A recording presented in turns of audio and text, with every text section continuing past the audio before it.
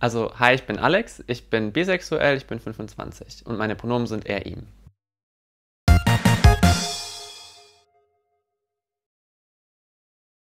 Was wünschst du dir von deiner Umwelt?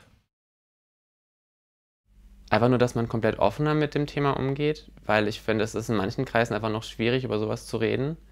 Ähm, was auch ein Grund ist, warum ich so offen damit umgehe, damit Leute merken, hey, das ist ein Thema, aber das kann man mit mir reden und damit sie sich auch trauen.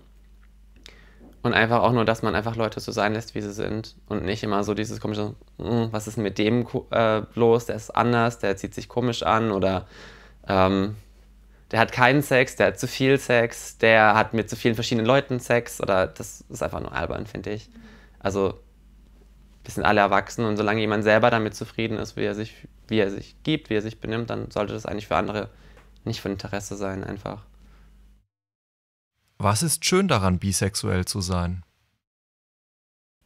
Was schön dran ist, ich, ich hänge mich nicht irgendwie so am Körper vom Menschen so ganz so arg auf, sondern gucke halt mehr auf die Persönlichkeit und wenn die mir gefällt, dann passt mir der Mensch normalerweise.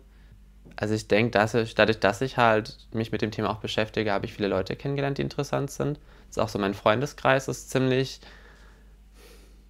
mit drin in LGBTQ. Also ich habe auch mehrere Freunde, die bisexuell sind oder auch jetzt Freunde, die trans sind oder so irgendwas. Und ich glaube, das wird mir schon fehlen. Und auch mein Freundeskreis ist ziemlich interessant. Wir nennen uns selber den Flauschhaufen, weil wir immer miteinander kuscheln. Meistens nicht sexuell, aber halt auch manchmal doch sexuell. Und das, glaube ich, wäre, wenn ich hetero oder ganz schwul wäre, nicht ganz so einfach, weil halt da Jungs und Mädels mit dabei sind. Und dann wäre es wahrscheinlich einfach auch anders. Vielen Dank für das Interview.